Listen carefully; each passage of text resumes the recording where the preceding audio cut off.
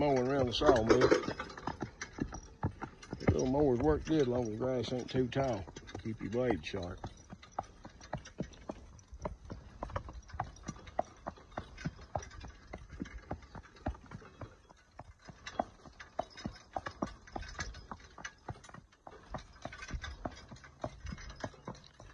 Grass just a little up too.